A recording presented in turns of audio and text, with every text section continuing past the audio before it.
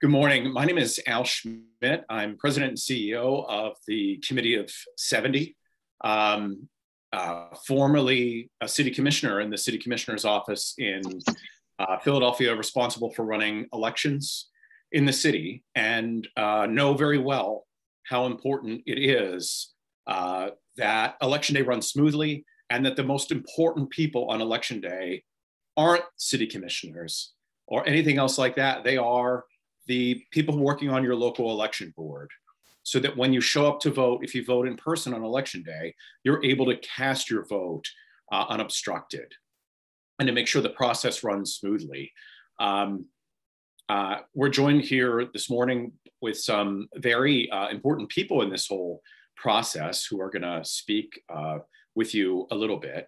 Um, and you know, it's a, I think a very critical time in the history of our in our, uh, in of our country, and that people, it, when they're really concerned about it, get frustrated and want to know what they can do. And the most important thing, in my opinion, that anyone can do who really wants to be, uh, who's really committed to uh, to to voting, is to serve on an election board. Um, so let me turn it over to Lauren Cristella from the Committee of 70. Hi, everyone. Welcome. My name is Lauren Cristella. I'm the Chief Program Officer of the Committee of 70. I'm also the President of the League of Women Voters of Philadelphia. So wearing both hats today, uh, welcome on behalf of those organizations. Um, it is my honor to introduce Congressperson Mary Gay Scanlon to give some brief remarks. Um, just to say that we are so fortunate to have her here and have her in Congress because of her uh, career of dedication to voting rights and making sure that people are fairly and equally represented. Uh, even in her legal career before joining Congress, uh, heading the non, uh, the pro bono aspects of her firm, making sure people's voting rights were respected, and fighting for children uh, has been a hallmark of her career, and she continues to do that in the halls of Congress. So thank you so much. Representative Scanlon, and uh, we'd love to hear from you on this. Okay, well, thank you, Lauren, and um, congratulations to Al Schmidt on his new role um, with Committee of 70. It's really wonderful to have someone who is uh, now nationally known for protecting the right to vote to be heading up such an important organization here in the Philadelphia region. So good morning, everyone. I'm so pleased to join you to talk about the critical job of poll worker service as we honor the life and legacy of Martin Luther King Jr. on uh, King Day of Service. So this year's King Day celebrations um, feel particularly important as once again we're finding ourselves in the midst of an intense fight to secure voting rights for all Americans. It's fitting that we're gathered here today, not just because of Dr. King's role in advancing the landmark Voting Rights Act of 1965, but because the holiday honors honoring his legacy has become a day of service and helping protect our democracy, defend the right to vote, and have that vote be counted is probably one of the most important acts of service that we have in our country. Um, you know, as Lauren mentioned, my path to Congress directly connected to the work that I've done over the last 30 or 40 years to secure the right to vote and my belief that there's no more important issue because all change and all issues flow from our ability to choose representatives who reflect the will of the American voters. And if those votes are suppressed or discarded, then the legitimacy of our government is impacted. Over the years, I have been a poll watcher. I served as an election judge at a Philadelphia precinct. I've been on election protection teams, and I've recruited and trained people to work at the polls.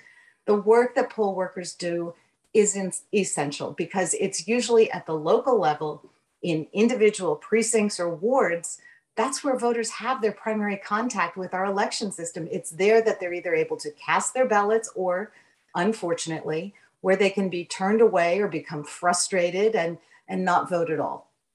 So, poll workers are the first line of defense for ensuring the right to vote.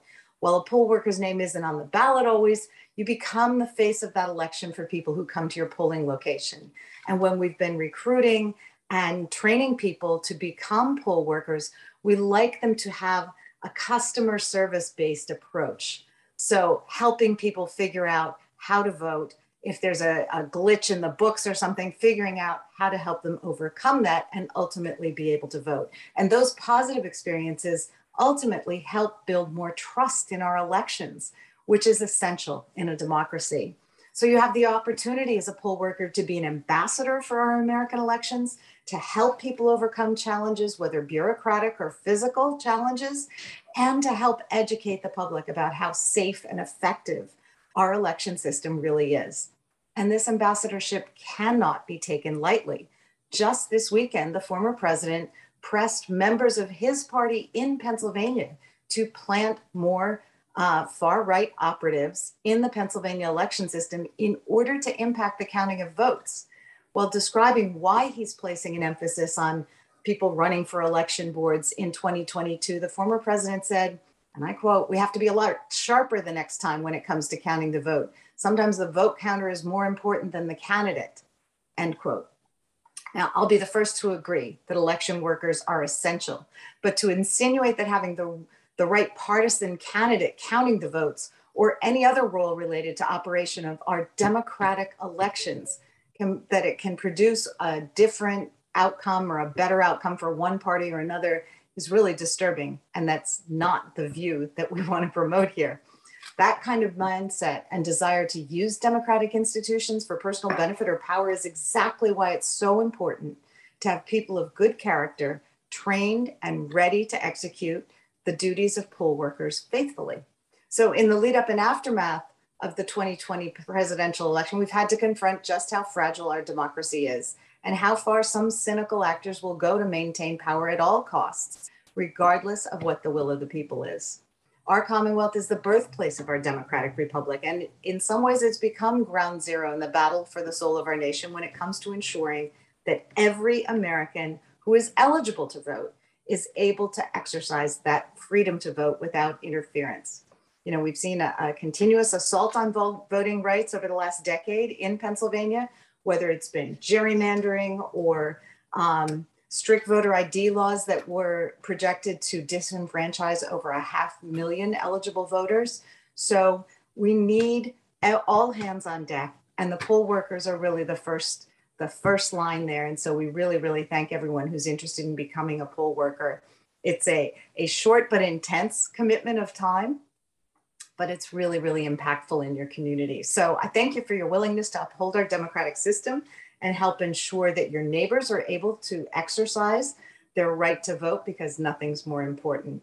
In the early days of our nation, when asked about the type of government that we had formed, Philadelphia's own Ben Franklin said, It's a republic if you can keep it. And now is the time to prove that we can keep it. So thank you again. Thank you for allowing me to speak with you today. It's it's an amazing experience to work at the polls. I enjoy it um, when I can get out there, and I think you'll feel the same way.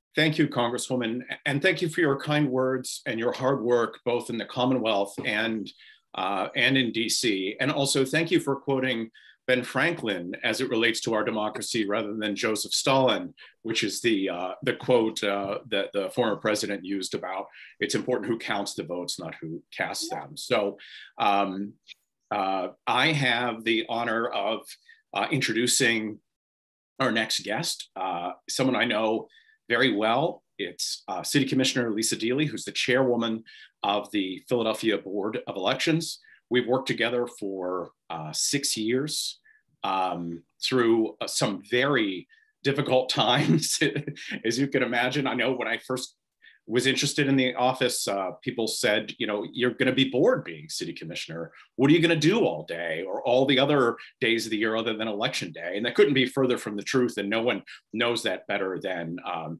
Chairwoman Deeley. I have uh, never worked alongside um, uh, someone who is so dedicated to the democratic process, who is so hardworking, both as it relates to customer service, and our customers are more than 1 million voters in Philadelphia, uh, and also making sure that the electoral the, the, election operations run smoothly so that no voter is uh, is kept back from casting their vote whether it's voting by mail or uh, in in person. She was elected um, like as I said, six years ago, and has really improved the city commissioner's office uh, significantly uh, to the betterment of our of our voters here. So, um, uh, Chairwoman Deeley. Good morning, and thank you, Al, and uh, certainly congratulations on your uh, new role uh, at 70. But in addition to congratulating you, the real congratulations goes to 70 for having uh, just the insight and the forethought to select somebody that really um, understands elections and will really give uh, just what we need, uh, just your defense and your integrity uh, in an organization such as 70. It just builds it up that much more. Um, so I really can't congratulate 70 enough for their great selection uh, when they chose you. Um, for, I mean, as much as I hate to see you go, uh, I don't know that uh, people really understand. We did work together for a long time, but uh, what we went through in 2020 together, um, it, it, was great to have a partner like you uh, in that foxhole uh, during during such a trying time. So uh, I look forward to working with you in your new role and continue to count you as a, a dear friend. Um, and I'm so happy to be here today and to thank the Congresswoman for taking time out of her day to be here also. Uh, you know, we started this morning at the Shared Food Warehouse where we are, are uh, in service, uh, trying to help uh, people that need uh, food and assistance, make sure they get that. Um, but this was actually uh, more important to make sure that people understand that although today is a beautiful day to recognize the need for all of us to be of service, that service needs to continue and should continue throughout the year. And, you know, especially at a time when our democracy is under attack constantly, um, there is no greater way to be of service to your democracy, to your country, to your neighbors um, than being a poll worker. I started as a poll worker at the age of 18. I ran for judge of elections, and I was a judge of elections at my uh, in my polling place in my division for three years until such time as I ran for committee person. Uh, you know, I am somebody who grew up uh, in a polling place. My mother was uh, involved in the elections, my grandfather before her. So I spent every election day um, before I was in school, after school, uh, spinning around in a barber chair at the polling location that uh, our division used to vote at uh, when I was a child. And I can say that when we talk about Philadelphia and we talk about Tastykakes and Rocky, uh, the Mummers Parade, things that really are Philly. I will tell you one thing that's really Philly that doesn't really get that much attention is Election Day. Uh, it's a beautiful day of neighborhood and camaraderie. And for me, you know, you start out and you see a young family and they'll bring in a, a baby and the baby will be uh, in a carrier and they'll put the carrier on the on the table as they sign in and then you'll watch through the years as that same baby is uh, tugging on the pant leg uh, of the parent that's behind the curtain and as the years go on they're standing outside the curtain hold you know what, waiting for their parent to come out and then before you know it uh, they're standing in front of you signing in themselves uh, for their first time voting it really is an experience some people uh, they bring candy or they bring cookies. They tell the same joke uh, election after election.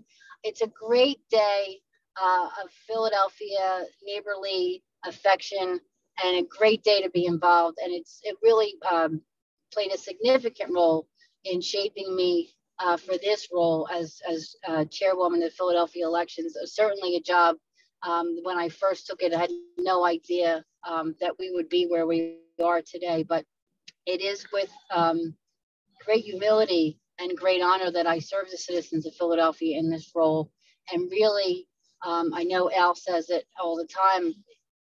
What happens on election day has really less to do with what, what the work that we do, and so much to do with uh, the board workers. So um, Philadelphia shares, along with the rest of the nation, a great need for board workers.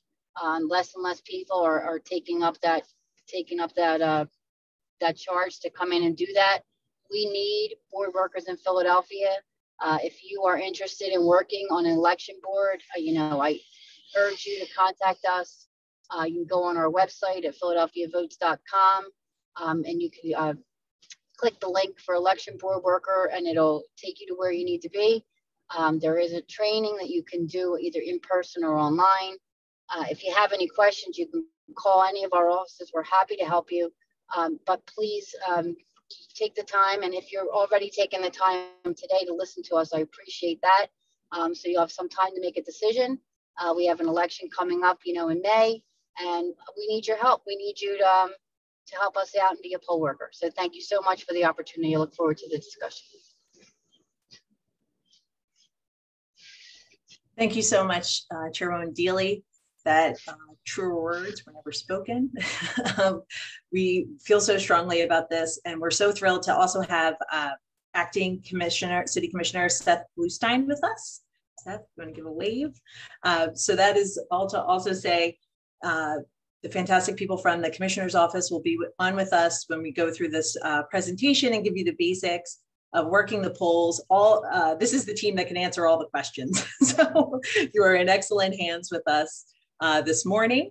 And with that, uh, I'd like to thank everyone for joining us, and we will get started on the on the presentation. So hold on one second while I share my screen.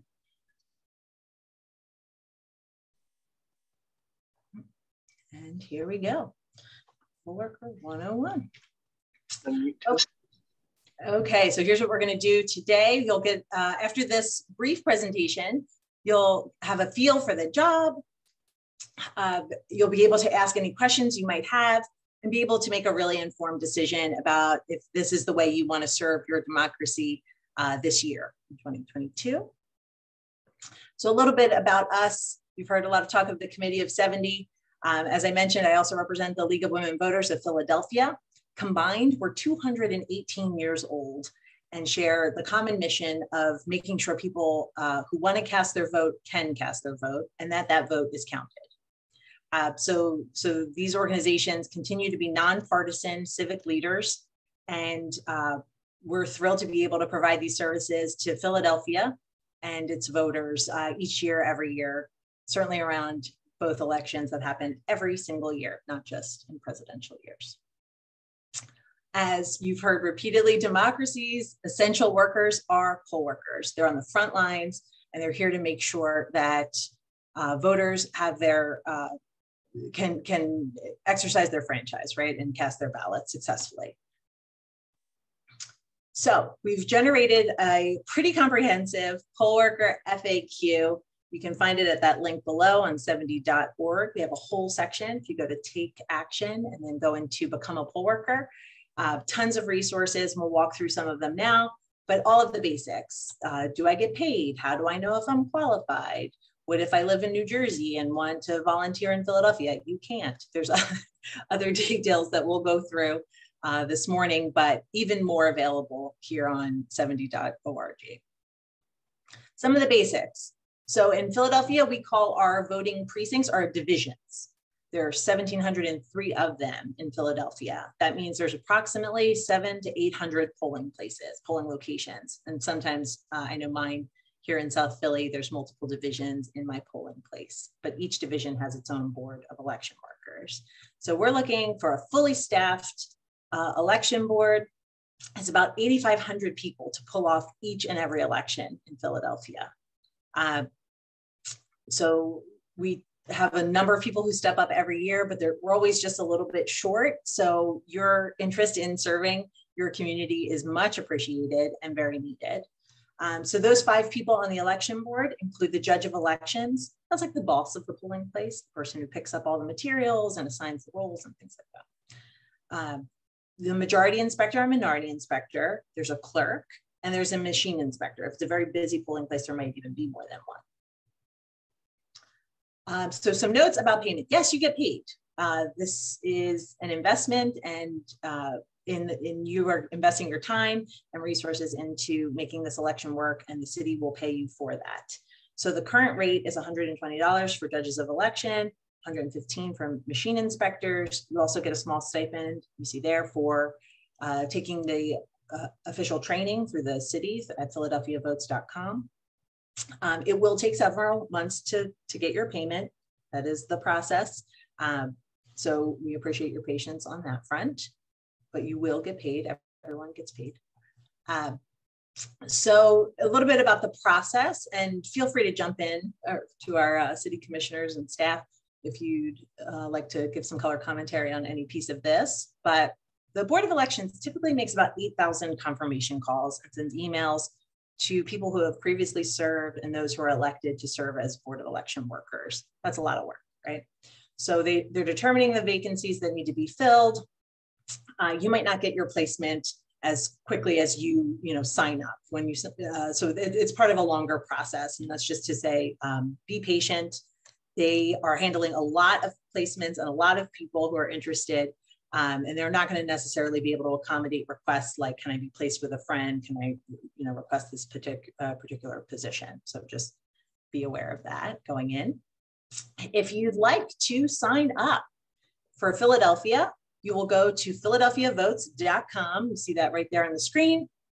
You go to election board officials this tab on their website drop down to become a poll worker and that brings you to this form. This is where you'll sign up uh, that's the best way if you are a Philadelphia resident registered to vote in Philadelphia. This is where you sign up to be a poll worker. If you live in a different county, you can go to votespa.com and go through a similar process, and you'll be directed to your uh, county for uh, to work in the county where you live. All right. Uh, that is to say, because you can only be a poll worker in the county where you're registered to vote.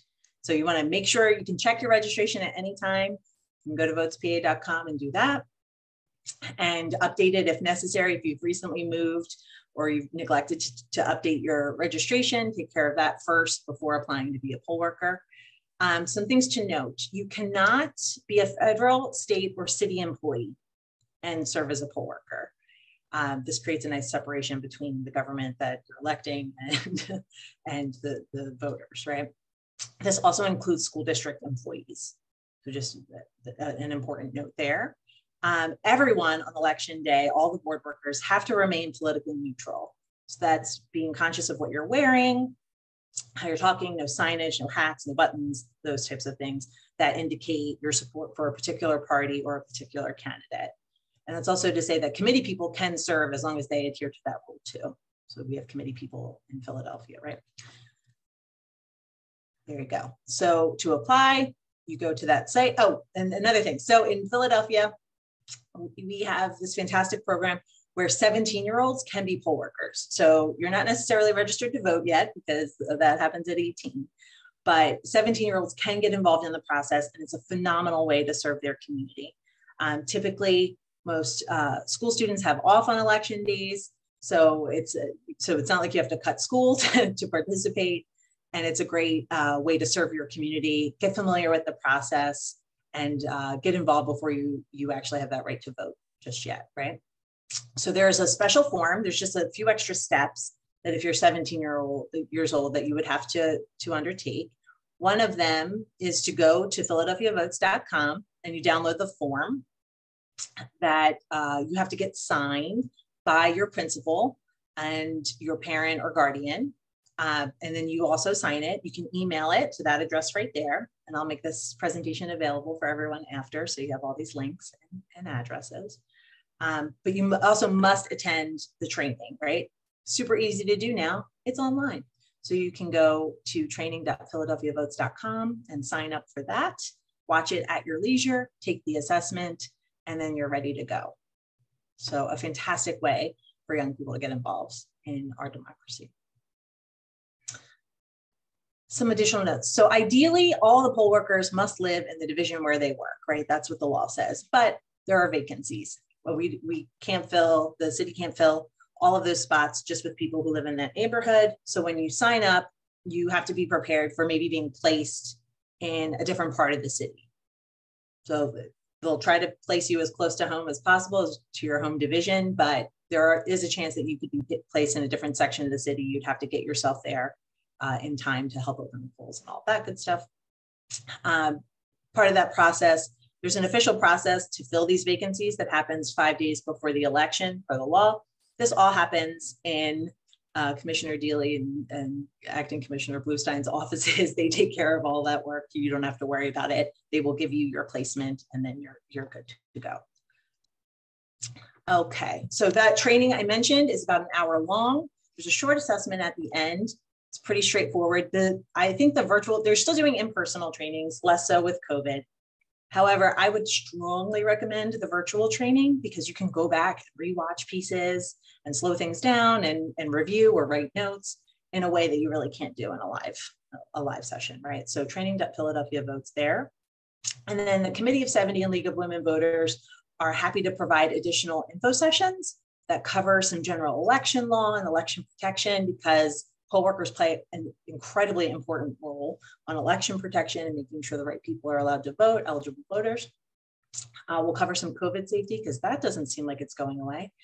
And then we will also cover us in a section, a second session, um, details of the day, special procedures, um, people using provisional ballots, et cetera, things that you might encounter, and then some special uh, circumstances that might not be as common, but you want to be prepared for. Uh, and then we have typically we'll also offer a third session in partnership with the city commissioners to just answer your last minute questions. So these happen in the days before the election. Um, we're going to continue to do that to make sure you feel confident and prepared going into election day. Um, some other resources, your fellow poll workers, they're amazing. And you can tap into their, their expertise uh, two different ways. One, on the job, when you get there, people will hopefully be experienced and, and eager to help you get settled into your role.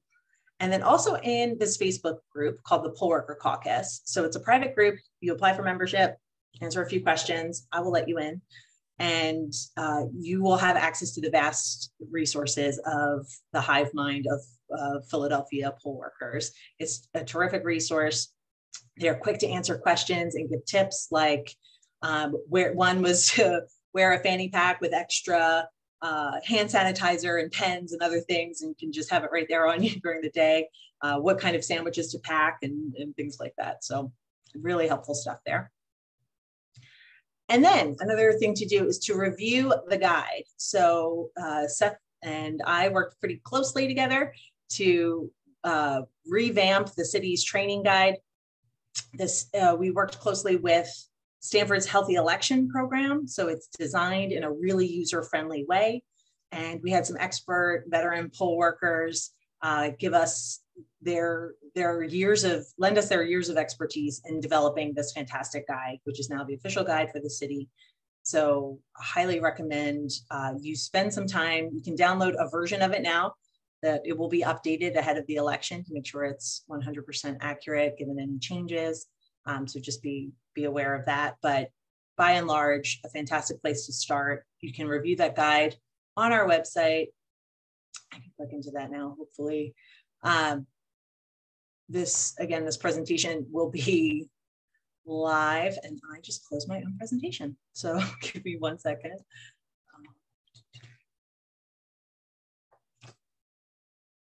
All right, here we go. Back at it. Sorry about that, everyone.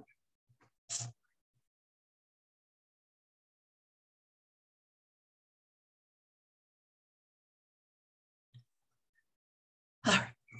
Uh, this is just a sample of the page. When you get access to this, uh, this presentation, you'll see that this is a clickable link that will take you directly to this fantastic guide where you will be able to do all of these, these terrific things to help you prepare for the day.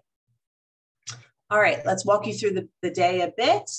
Uh, it's a long one, so be prepared. It's not in shifts. When you commit to be a poll worker, you're working the full day. And that means arriving between 6.15 and 6.30 in the morning. And then you immediately go into setup mode. So you set up tables, you check the flow of the space, hang all the required signage. That guide has uh, a visual uh, checklist. So it'll show you examples of those signs and tell you where to hang them. And then you can just go through and check off as you do it. Um, you'll unpack and account for all the materials. There's also an index of all of the materials that come in the judges box, which is really helpful and you'll know what you're missing. You set up the voting machines, mark off social distancing, and then receive additional instructions from the judge of elections, clarify the roles for election day. And then you get to it. So polls open at 7 a.m. That's what you get there early to make sure that you are ready to receive that first voter exactly at 7 a.m. Greet voters at the check-in table, verify their name in the poll book. Um, you're going to help with any specific questions they have, explain how the machines work, and then, uh, of course, manage social distancing, encourage mask wearing, that type of stuff. So another piece, if you um, you can be both a bilingual interpreter and a poll worker. That's something that's possible. Um, or you can just, if you have other people who are interested in being bilingual interpreters, spread the word. This is um, a terrific way to serve your community too, so that people who need that um, bilingual interpretation on election day need some, some help casting their ballot, have that support on site. Uh, this, you would just go to interpreter.philadelphiavotes.com to learn more and sign up. The pay is very good to do that. And you have to attend a training uh, to, to do that. You can get a certification to be on site with your as a bilingual interpreter too through the city. So uh, another fantastic way to serve and and they are always needed. Go, go for it, Seth.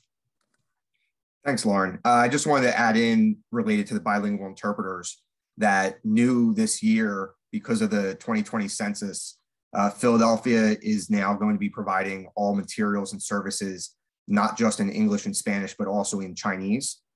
So it's going to be especially important to uh, volunteer or recruit uh, Chinese language interpreters this election cycle. So we're really looking forward to expanding that operation. And so, can you say you don't have to be like a, an interpreter or translator by training, right? This is per, someone who's fluent in this language and, and willing to serve in this capacity. Is that correct? Yeah, you don't have to be a outside certified interpreter. We do provide training and certification for individuals who wish to serve on the election boards as an interpreter.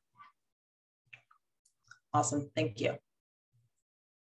All right, so now to closing the polls. So you're just the steady stream of uh, voters is coming in all day. These upcoming elections for 2022 are, are primary in May uh, and the general in November will see a lot more voters than certainly we saw in 21. Um, so having an efficient and effective uh, election board and process for your voters is going to be important to make sure that there's no long lines and that people don't leave those lines uh, and not cast their vote, right? So it could be a late night. Hopefully it won't be. Um, polls don't close until the last person who is in line by 8 p.m. has voted. That's an important point. So if you're in line by 8 p.m., you get to cast your vote, even if that takes another hour, right, to get to the front of the line. Um, one of the poll workers will mark that end of the line if they see one forming uh, around 8 o'clock. So, um, so that's why we can't say exactly when the when the night will end. Uh, you will follow all the checklists and procedures. We've provided fantastic ones to, to walk you through shutting down the machines and completing the paperwork. Um, the more legibly you and completely you fill out the payroll, the more likely you are to get paid uh, quickly or it'll be processed better, more way. Yes, Commissioner Deeley. I just wanted to point out uh, another tool that we provide is every uh, division is provided with a cell phone. So if you get stumped during the day or if there's a question that you, you really can't answer, or if you just need some reassurance, uh, we do provide a cell phone to every division in the city uh, for you to uh, get in contact with somebody that can give you the answer you're looking for. Terrific. It's an important point. And um, all of the important phone numbers, depending on what your issue is, are listed in that guide, and they're in the judges uh, box too. So you'll you'll know exactly who to call if a machine breaks or if there's other issues that uh, that you need to address during the day. Uh, so then you uh, wrap up the day, you follow the procedures, you return everything where it needs to be returned, and that's it. That's that's your day of being a poll worker. Um, this sounds like a lot. It's a long day. It's a lot of, uh, a, a, you're on the whole time, more or less. Uh, there may be lulls and things, but you're enabling democracy to exist in the United States. And that certainly seems worth, uh, you know, two long days a year. Elections can't happen unless we have enough poll workers to make it happen. And those shortages of poll workers or poorly trained poll workers mean long lines and other issues for voters. So you are making sure people can exercise their right to vote. And in a democracy, there's no more important cause. So thank you for, for stepping up in that way. As I mentioned, um, join the poll worker caucus. It's a great place. It, it's active year round. So people are preparing and sharing resources and ideas uh, and asking questions. It's a, it's a terrifically active community. Again, if you want to sign up, you're going to go to philadelphiavotes.com and then click that election board uh, tab. You can sign up for it to be a poll worker. If you happen to be in another county or want to encourage friends and family to vote, have them go to votespa.com. And thank you. I'm happy to take any questions people might have. Uh, if anyone on the call has a question. And I yes, want to thank uh, again. Oh, sure. I have a question. Um, unfortunately, I just discovered that I can't be a poll worker because I work with the school district of Philadelphia. Is there anything else I can do? You can volunteer for election protection work. That's another great way um, to serve the community on election day.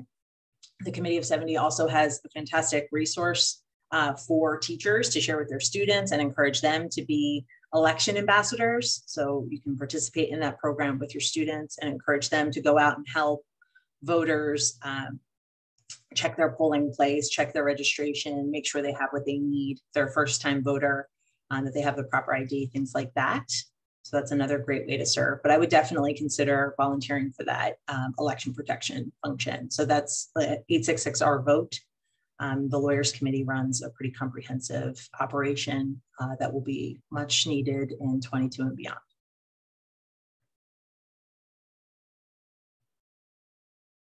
So thank you for attending today and, and hopefully and spread the word that we still need poll workers outside of uh, the school community. Yeah. All any right. other any other questions?